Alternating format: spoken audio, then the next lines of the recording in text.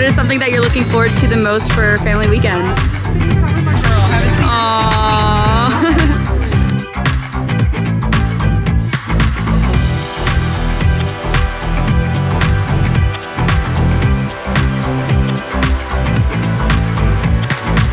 What's your favorite thing so far that you've seen at Family Weekend? What's this guy? This guy?